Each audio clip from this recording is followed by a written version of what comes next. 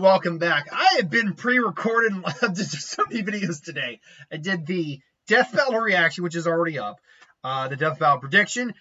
Yesterday's who would win. Today's who would win. And now I'm on my Lantern Corps video, which is going to round out my pre-recorded videos for the day. And then I'll probably uh, be pre-recording, which is Tuesday today, pre-recording at least my who would win for Wednesday.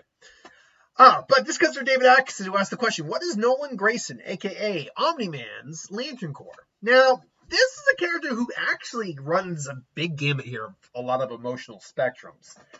But let's get a couple of the ones obviously out of the way here right now. Now, I am going not just solely from the cartoon Invincible. I'm not doing just solely that, but I am also looking at the uh, the comics for what it's worth. There's no way in hell he's a Gold Lantern. He has not been happy his entire life.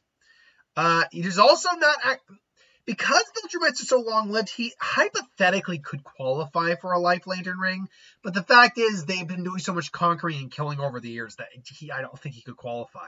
But likewise, he's not really an emissary of death in any way, so black doesn't work. Uh, he's not really any good. He's he was a beacon of hope for a while. If we're talking at the beginning of the series, both the cartoon and the books, uh, comics, he could theoretically be a beacon of hope, kind of like a Superman. But yeah, later on, I guess maybe, but it's it's a, this see this is where the kind of maybe scenarios could happen. He's not overly greedy, so I don't think about uh, I don't think avarice would work. He does ultimately gain compassion, so I don't think compassion works either. It's not his dominant trait. And I wouldn't say love Although later on, he's definitely more motivated by his love for his family. Uh, I wouldn't call it his dominant trait, though. Uh, like, it wouldn't bypass the lantern ring he currently would have. And rage is not a lantern ring that I think really works. It doesn't harbor like a. Yeah, he gets angry. The whole think, Mark, think! Like, that means sure, and he was angry, but that's not like what's driving him. That's not his ultimate goal. So, with that said, that leaves us with the Green Lanterns, and this will probably fit pretty well. Strong, uh, overcoming great fear, which as a warrior probably would have easily had to do in his training. Immense amount of willpower, out the yin yang. So, Will definitely is a candidate. Likewise, though, especially when the truth came out, Fear is also a really good candidate. I mean, this guy's a, he is overly he is super powerful. Omni Man is super powerful. He's not Superman level power, but as a Superman clone, he is very powerful. Uh, among the clones, he's among the, some of the stronger. Although, like Sentry, which yes, despite the fact the origin isn't the same, he is clearly a Superman clone. Hyperion, um, Plutonian, like those guys are far stronger. But in terms of like the lower tier Superman ripoffs, this guy is definitely uh, definitely strong. But last but not least, and so um, uh, so Fear works very much so, especially when he left and they were ready to come back. But beyond that, though, there's also the Lantern Corps of shame. And I actually think shame, because, okay, it's ultraviolet and it is negative emotions, but they do believe it's mostly shame. I think shame is not, is an interesting option. I don't think it's a necessarily the right option, but I don't think it's a wrong one. What, let me mean by that is this. Did he feel bad for like deceiving his family? Absolutely. That's negative. That's shame.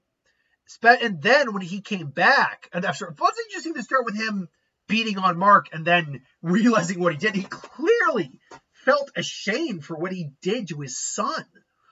Um, so right there, then he felt shame coming back after he did it and how he hurt his wife. Shame actually could work well, but only in a vacuum and only for a certain chunk of the story. Because after a while, the shame just disappears and he no longer would be a shameland. It, it, he could no longer qualify for it. I mean, granted, it is a pair. It's the probably the most parasitic of all the rings. It's robbing you pretty much of all your free will. I mean, even more so than like the ring of compassion. This thing is literally like a hive mind mentality kind of thing. Whereas the other, the parasitic ring of the um, of the indigo lanterns, you still have a personality of your own. It's just you're kind of like mellowed out and neutralized, and you're made.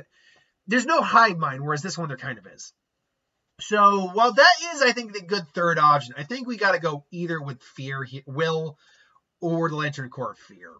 Between the two, I honestly, I probably would go more towards Fear at this point. Uh, not he does gain trust back after a while, and maybe you could make the argument for Green as well. I think they're both honestly reasonable choices here.